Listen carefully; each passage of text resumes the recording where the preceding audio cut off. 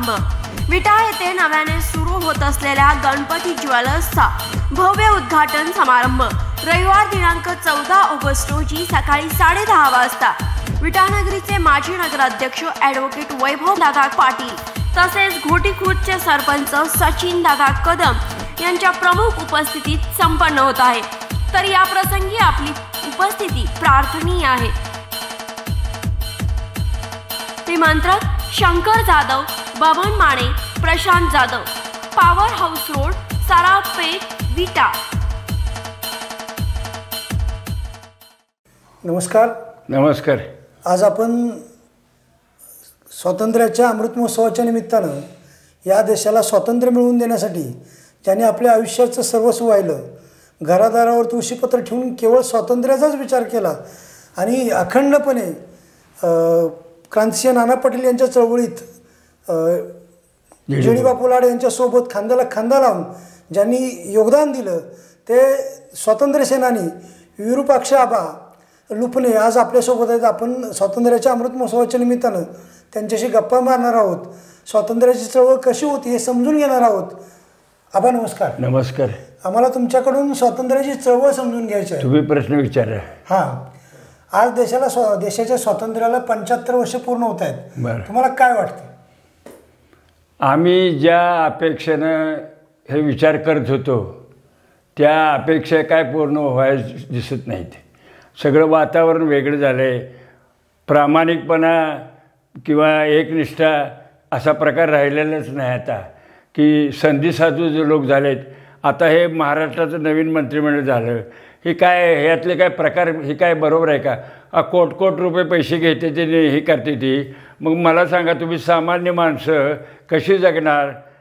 सामान्य माणसाला काहीतरी सुख समाधान मिळेल अशा अपेक्षेनं त्यावेळेला लोकांनी आम्ही काम केलं. पण त्याचं काय आमच्या आमच्या अपेक्षा सफल झाले नाहीत.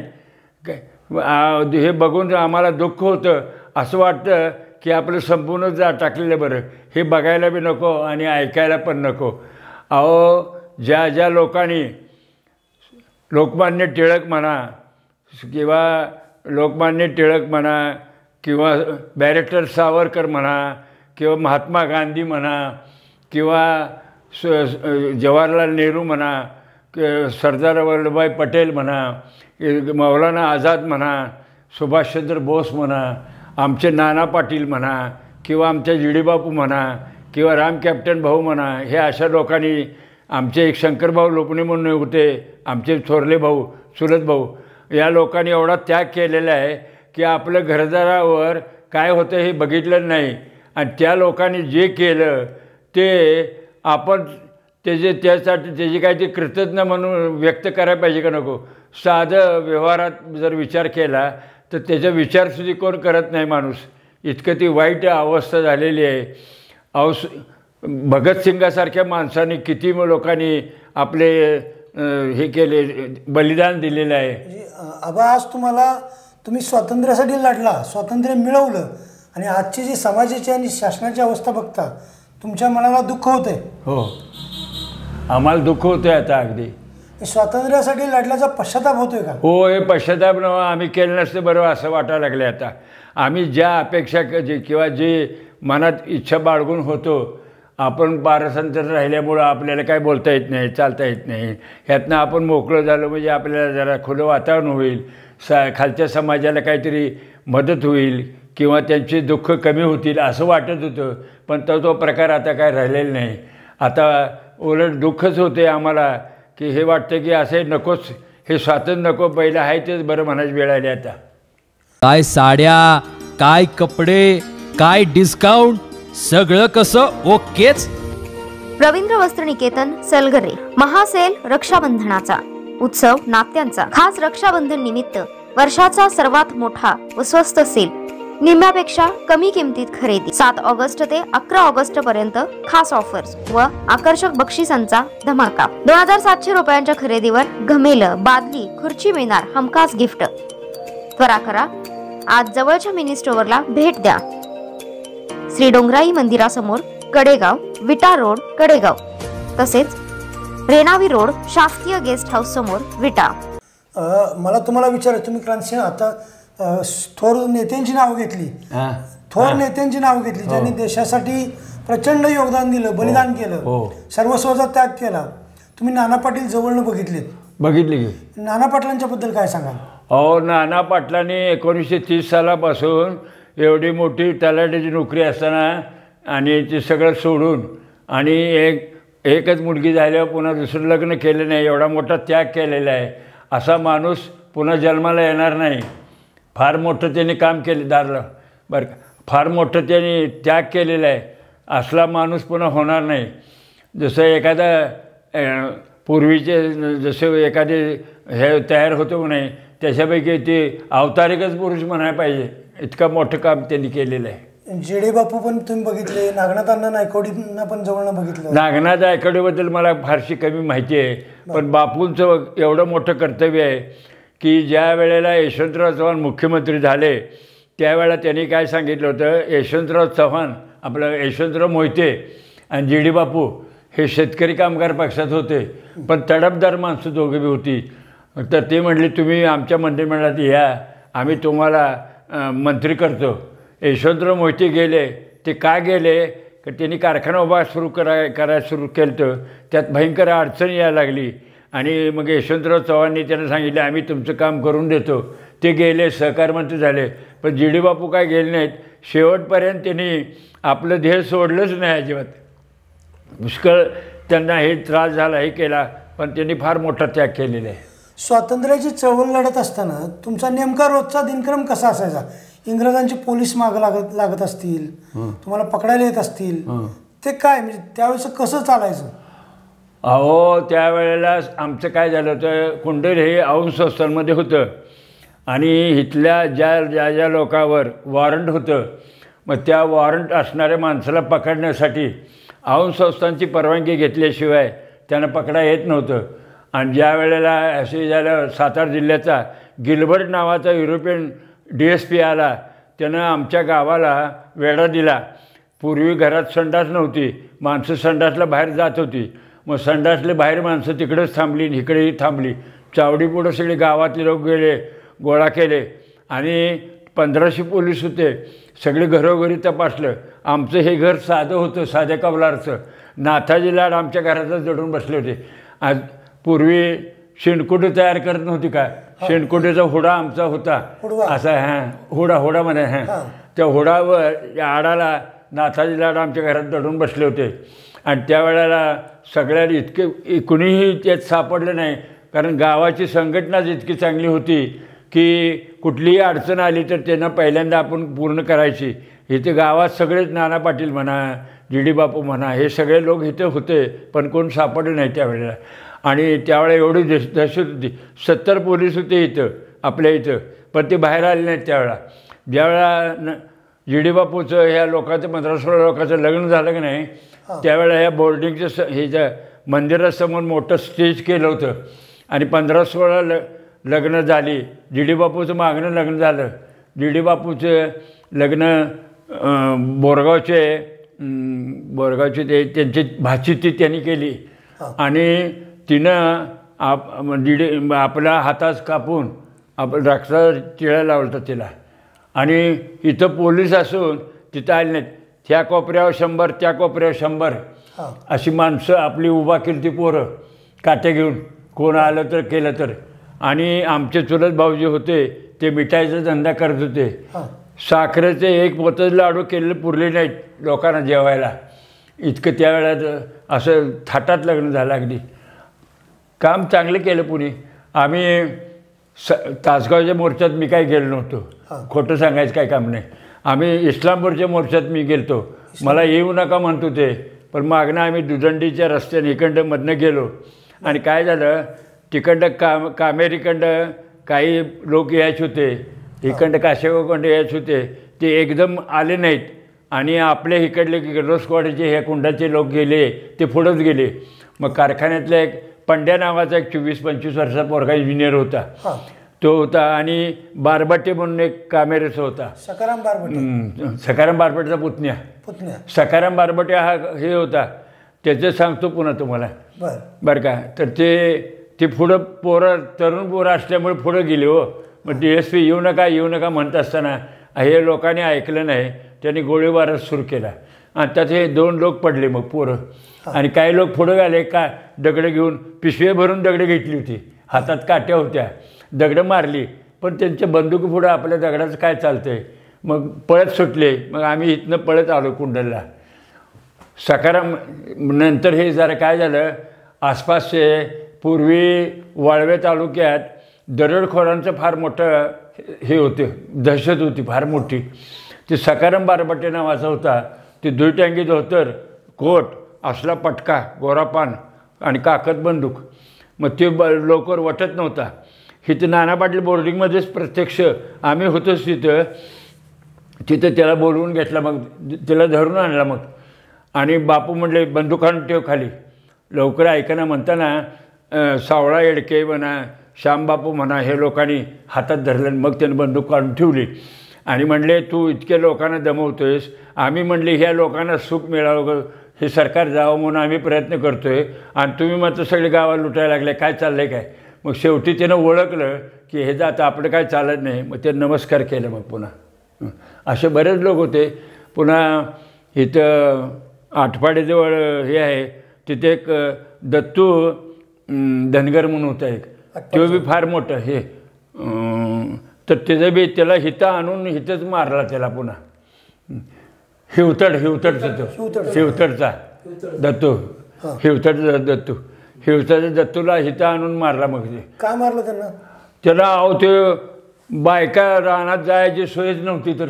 बायकाचे आबरू लुटायचा दरोड घालायचा हे करायचं हे सगळं करायचं. आणि ते काय झालं इथले पंचवीस चाळीस लोक गेले होते बंदूक घेऊनच. आणि तो कडब्याची गंजी नसते काय? त्या गंजीत दडून बसला होता. मग आपल्या बी सांगणारे लोक असतात अन्याय झालेले मनात त्या गंजीत बसलाय. मग त्याला धरून आणला इथं. इथं मोराळकरच्या घरात ठेवला होता. आणि त्याच्यावर आम्ही देखरेखीला पारा पाराला होतो. इथं साने गुरुजी आले ते साने गुरुजी आल्यावर महादेवाच्या देवळात ते होते. आणि असं असे करून असे झोप बसत होते. जे सरळ बसत नव्हतं म्हातारा. अगदी असे. आणि एक एक तास प्रत्येकाला दिलेला होता. हातात काठी घेऊन बाहेर उभं राहायचं. सारे गुरुजी म्हणले अरे बाबानो कशाला राहत आहे आम्ही बोलायचंच नाही मग पण तिथनं जागेवर हलायचं नाही. सारे गुरुजी फार मायळ माणूस अगदी. जयप्रकाश नारायण आलते. यशवंत चव्हाण वरचीवर येत होते. यशवंतराव चव्हाणचा तसा फारसा संबंध कमी होता पण येत होते वरचीवर इथं. नाही असे काय काय लोक येत होते? आणि रेठरे कारखान्याजवळ रेठरे कारखाना म्हणून आहे. तिथं कापूरकर नावाचा एक माणूस होता. मग तो असाच सगळ्यांना बातमी द्यायचा. मग इथनं आम्ही चार वाजता इथनं गेलो रेल्वेनं गेलो स्क्वाडीनं सेलूर स्टेशनवर उतरलो तिथनं चालत गेलो. सत्तर ऐंशी लोक पोरं होती आमची. आणि मग त्याला बोलवून आणला. आणि पत पत्री सरकार म्हणजे याचा अर्थ प्रत्यक्ष लोखंडी पत्री नव्हती. तर काय करायचं? अशी ख्याल करायची अशी. आणि ख्याल करून त्याला पाया असं ठेवायचा. ह्याला दोघं इकडे झोप धरायची पायाला धरायचं आणि बाबळीची एवढा फोका करायचा. आणि मिठाचं पाणी करायचं आणि त्याचं असं पाय केलेलं त्याच्यावर मारायचं. तळव्यावर मारायचं पायाच्या. पायावर मारायचं. त्या फोका बाबळीची फोक फु फुटत नाही. म्हणजे चिरत नाही ती. बाबळीची फोका घालायची एवढ्या एवढ्या. इकडे एक आणि इकडे. आणि ती सावळा वेडके फार त्या कामात तज्ज्ञ होता. फार चांगला होता. त्या त्याला मग हे केलं. पुन्हा बुर्लीला कापसे म्हणून एक होता. त्या कापशाला बी तसंच केलं संध्याकाळी. आणि आम्ही इथनं शंभर माणसं गेलो होतो. आणि मग त्या जेवायची व्यवस्था तिथल्या गावाच्या लोकांनी सगळी केली. लोक तसे सहकार्य करत होते चांगले. काय काय ठराविक लोक जर फाजील पण होत होते. आणि त्यांना पैसे मिळत होते म्हणा. आणि त्यावेळेला पैशापेक्षा बी आपण मोठेपणा दाखवायचा. हे एक त्यांच्याकडे भावना होती. पण त्यांना ह्या लोकांनी ताळ्यावर आणलं. प्रति सरकार याचा अर्थ दुसरं सरकार निर्माण केलं त्यांनी. आम्ही तुमचा कायदा आमच्याला चालणार नाही. आमचं हे प्रमाणच बघायचं. आणि काही लोक जेल जेलमध्ये गेले पुन्हा बाकी जे भूमिगत स्वातंत्र्य सैनिक राहिले त्यांनी पुन्हा हे मागं दीड दोन वर्ष हे चालवलं. आणि आम्हाला वाईट काय वाटतं आहे की जे जेलमध्ये गेले त्याला आपलं सरकार आल्यावर त्यांनी काय केलं की जेलमध्ये जे लोक गेले होते त्यांना पांधन काहीतरी पेन्शन चालू केली. आणि जे भूमिगत स्वातंत्र्य सैनिक होते निम्मे ते त्यांना काहीच त्यांच्याकडे बघितलं नाही काय नाही. ज्यावेळेला वसंतराव दादा मुख्यमंत्री झाले तर त्यांनी पहिल्यांदा इंदिरा गांधीला सांगून महाराष्ट्रातर्फे दीडशे रुपये पेन्शन चालू केली ती. आता तुम्हाला येते का अहो दहा हजार रुपये मिळते आता आम्हाला. आम्हाला केंद्राची मिळतच नाही. आता काय आम्हाला इलाज नसतं. ती काय झालं होतं आंधळीचं एक कोणतरी वकील एक मुंबईला आहे. केंद्राची पेन्शन तुम्हाला नाही नाही? मिळत नाही. आता केंद्र सरकारनं स्वातंत्र्याला पंच्याहत्तर वर्ष झाली. म्हणून घराघरावर तिरंगा फडकवण्याचं फरमान काढलंय. म्हणजे अमृत महोत्सव साजरा करणार आहेत. मग ते केंद्र सरकार तुम्हाला पेन्शन देत नाही? नाही देत. अहो जे लोक आता म्हणते तुम्हाला तुम्ही झे झेंडा लावा. मग ते लोक झेंडा लावत होते का त्यावेळेला? ते हाफ पॅन्ट आणि हाफ शर्ट घालून नुसते लेफ्ट राईट राईट करायचे संघाचे लोक संघाची लोक झेंडा लावत नव्हती घरावर. नाही नाही लावत नव्हते. काय म्हणत होते? अहो त्यांना त्या- त्यांच्या ते इंग्रज सरकारला साह्यच करत होते लोक. बरं. आपल्या आपल्या काँग्रेस सरकारला विरोध करत होते लोक. त्यांना हे मान्यच नव्हतं. बर. जसं पेशवाईच्या वेळ नाही काय नानाशा पेशवाईला कान भरून जसं माधवरावच्या विरुद्ध बंड केले का नाही. तसे त्यापैकी ते ते लोक होते. आणि आता काय झाले आपल्या लोकांनाच अजून कळना की कोण निवडून द्यावं आणि कोणाला हे द्यावं हे अजून लोकांनाच कळना संघाची लोक तुमच्यासोबत इंग्रजाच्या विरोधात लढायला येत होती का? हां? नाही नाही. नव्हती. कधी सहकार्य करतच नव्हती तर येतच नव्हती लोक तर. येत नव्हती. पण तीच लोक आज घराघरावर झेंडा लावायला अहो ते प्रचाराचं एक साधन आहे पॉलिसी आहे नुसती. हे करा ते करा. आणि लोकं बी काय आहे सामान्य लोक जे अज्ञान असतात ना त्यांना वाटतं आपण झेंडा लावलं फार बरं झालं बरे असं आहे. हां त्यांना त्यातलं मूळ काय आहे हे कळत नाही. संघाच्या लोकांनी काळा दिवस साजरा केला स्वातंत्र्य मिळाल्यावर. पंधरा ऑगस्टला काळा दिवस म्हणून साजरा केला हे खरं आहे का? हो. आता एक उघड सांगतो. मी किर्लोस्कर कारखान्यात त्यावेळेला कामाला होतो. मी इलेक्ट्रिशियन म्हणून काम केलं आहे त्यावेळेला कसं होतं तिथं कॉलनी आहे आणि तिथं हायस्कूल मोठं आहे. पूर्वी टी व्ही नव्हता रेडिओ होतं. मग ती सात वाजता लाइट सुरू करायला आम्ही जात होतो मी. आणि सात वाजता बातमी कळली की नथुराम गोडसेनी गांधींचा खून केला म्हणून. अक्षरशः तिथल्या कॉलनीतली सगळी ब्राह्मणाची इतर समाजाला तिथं सहसा स्थान देत नव्हती. त्या लोकांनी पेढे वाटले तिथं. पेढे वाटले. गांधीजींचा खून केल्यावर तिथल्या ब्राह्मण सोसायटीतल्या लोकांनी पेढे वाटले. हो पेढे वाटले. पेढे वाटले त्यांनी. आणि ते अजून म्हणते ते गोडसेने केलं ती बरोबरच केले. आणि त्यांचं म्हणणं आहे अजून गोडसेने आमचं खूनच केलं नाही. आता पेपरला बातमी येते की त्याचा पुतळा उभा करा. म्हणजे म्हणजे काय चाललंय काय हे? तुम्ही गांधीजींना जवळनं बघितलंय. तुम्ही गांधीजींना आम्ही पुण्यात बघितलंय. आणि नेहरूनं मात्र इथं आम्ही स्वतः बघितलं. म्हणजे कसं झालंय आमच्या औंध संस्थांचे आप्पासाहेब पण म्हणून होते. ते बॅरिस्टर होते. त्यांनी आम्ही त्यावेळेला चौथी पाचवीत होतो. आता साठेनगर म्हणून आहे तिथं मोकळं रान होतं सगळं. औंधाहून गाडी आली. आम्ही असे ओळीनंच उभं राहिलतो. आणि नेहरूंना आम्ही स्वतः बघितलं. इथनं किर्लोस्करला गेले आणि तिथनं पुन्हा ओगलेवाडला गेले. नेहरूंना. आणि नंतर आपण स्वातंत्र्य मिळा मिळाल्यावर कराडला मोठी सभा झाली होती आम्ही इथनं सायकलीवरून बापू येडके आम्ही सगळी सायकलीवरून आदल्या दिवशी जाऊनच बसलो होतो. सभेला जागा मिळत नाही म्हणून. आता तुम्हाला गांधीजींचा खून झाला ते बरं झालं. किंवा गांधीजींच्या खुनानंतर पेढे वाटले. हे बघून तुम्हाला कसं वाटलं? तुम्ही गांधीजी बघितले होते. अहो आम्हाला त्यांना असं वाटलं की त्यांचा ग जा दाबावं म्हणून. ज्या माणसानं आयुष्य गाठलं विचार करा. बॅरिस्टर त्यांना पैशाची काय कमी होती का? आपल्या देशात नव्हा आफ्रिकेत त्यांनी संघर्ष करून किती मोठं काम केले की हाय हाय की नाही? केले. असल्या माणसाचा खून केला म्हटल्यावर या माणसाला जेवण ठेवून उपयोग आहे का? आणि अहो त्याला ते आपल्या त्यावेळेला काकासाहेब गाडगिरीने ओळखलं बरोबर आहे. पुण्याचं हे नथुराम गोडसे आहे ती बरोबर. काकासाहेब गाडगिरी त्यावेळेला मंत्री होते त्यांनी ते ओळखलं बरोबर. अहो असल्या माणसाचा खून करायचं म्हणजे काय म्हणायचं काय त्याला? इतकी मोठी हीन प्रकृती आज आणि अजून त्यांच्या रक्तात ती आहेच. बरं का? त्यांच्या रक्तात अजून ती आहेच. तुम्ही आता बारकाईने चौकशी करा. साधी गोष्ट मला सांगतो मी. कलेक्टर कचेरीत मी गेलो होतो. आणि माझ्या डोळ्याचं ऑपरेशन झालं होतं. आम्हाला काहीतरी अनुदान मिळतं. मग त्या कारकूनकडे मी तीन वेळा भेटलो.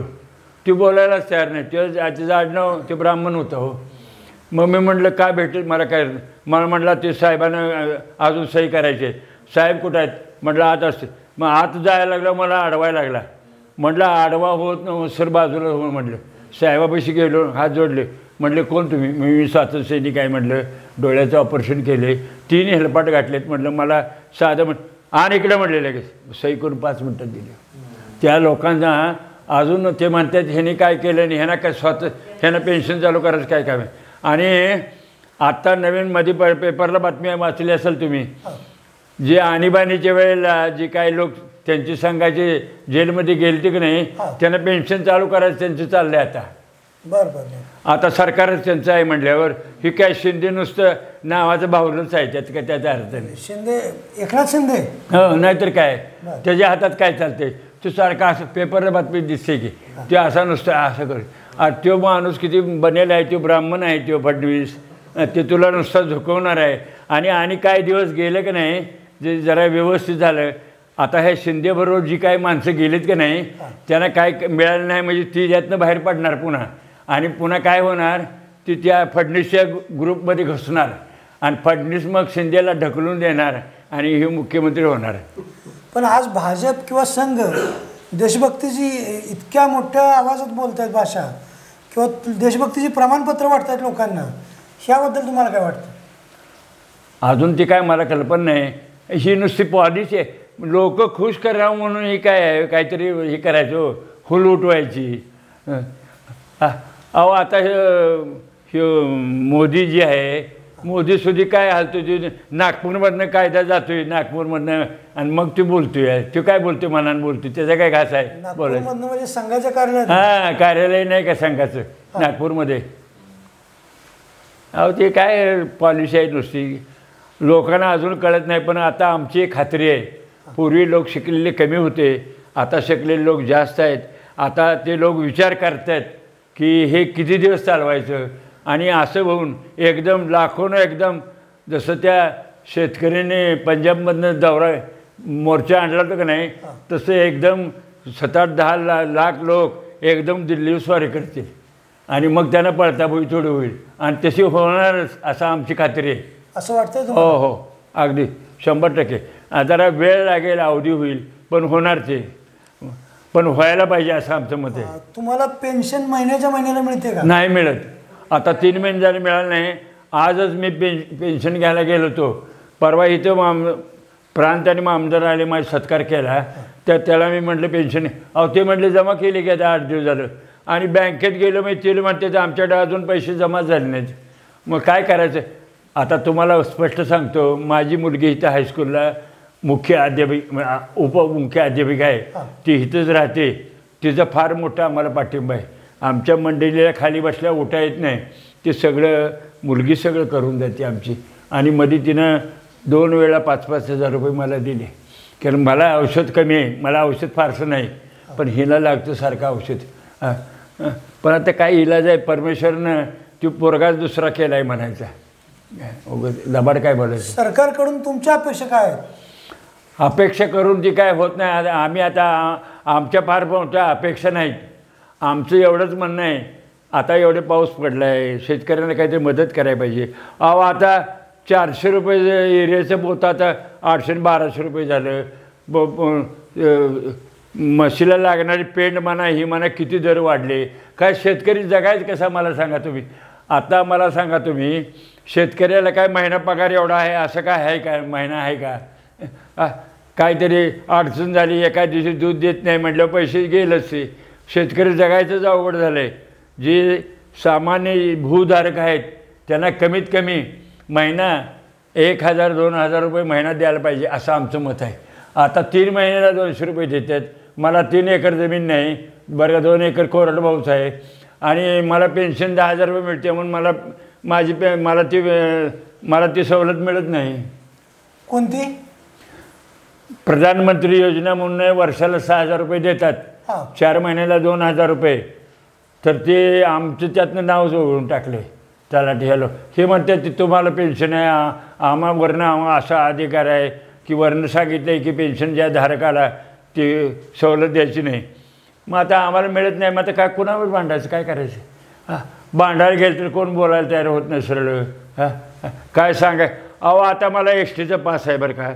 अहो त्याने इतकी भानगड सुरू केली आहे तिथे बरोबर घेऊन गेलो एस टी पास पासिंग करायला. ते म्हटले आधार कार्डाला हे लिंक करा. अहो आता हे लिंक करा ते करा अमकं करा. एकदा गव्हर्मेंटनं आम्हाला सर हे दिलेलं आहे. मग त्याच्यावर नुसतं मामदारजी मामदार जी हे असते मामदारचं पत्र असते ह्या लोकांना पेन्शन सवलत द्या म्हणून. ते ऐकायला तयार होत नाहीत ते लोक. ते म्हणतात हे जे लिंक करा अमकं करा. काय एक कामाला दहा एअरपाट आहे आता आम्हाला ह्या वयात होते का जायचं हे सगळं वातावरण बघून ही सगळी स्थिती बघून आजची तुम्हाला वाटतं का परत पत्री सरकार असावं हां कोणाचं? आत्ताची जी देशाची अवस्था बघून समाजाची अवस्था बघून प्रशासनातला भ्रष्टाचार बघून तुम्हाला असं वाटतं का परत पत्री सरकार यावं नाना पाटील हो जरूर. प्रति सरकार आल्याशिवाय ह्या भ्रष्टाचाराला आरा बसणार नाही. सगळे लोक लाचखाऊ झालेले आहेत. साधे सात बाराचा उतार काढला तर फ्री म्हणून सरकार जाहीर करते आणि प्रत्यक्ष तलाट्याचं आश्वासन घे दहा वीस रुपये मागतोय. मग मला सांगा तुम्ही काय तुम्ही सवलत देताय मग आम्हाला? नुसतं जाहीर करायचं बी. नुसतं जाहीर करायचं आणि प्रत्यक्ष हातात काहीच नाही. आहे का काय? आहे मग मग आणि एका हेलपाट्याला आता हितनं चावडीपर्यंत जायला आम्हाला निभत नाही वाटत दोनदा बसायला लागते. साधा उतारा आणायचा म्हटलं तर मग आम्हाला तीन हेलपाट घालायला लागते ते. मग नुसतं म्हणते ते लगेच गेल्यावर तुम्हाला लगेच मिळतो काय मिळत नाही काय नाही. आणि कचेरीत जरी गेले तर दादच देत नाहीत कोण. मग आमदार कचेरीत जाऊ द्या कुठं बी जाऊ द्या काय दाद देत नाहीत कोण. आमचं म्हणणं काय आहे की तुम्ही अगदी सगळंच फ्री करा असं आमचं म्हणणं नाही. परंतु जे योग्य आहे किंवा ज्याची खरोखर परिस्थिती नाही त्या माणसाला तुम्ही जरूर मदत करा असं आमचं मत आहे. आमचे दुसरं काही अपेक्षा नाही. आता कसं आहे आमचा हे प प पदराची फाटका आहे तुम्ही किती दिले ते ह्यात राहतात राहणार नाही आमच्या. आमचं तुम्ही ठराविक अशी मंडळ नेमून आता माहिती नेत्याची माणसं प्रत्यक्ष किती काम करते ती कोण करते घरात कोण करतं बरं आहे ह्याची काय चौकशी ते करतच नाहीत.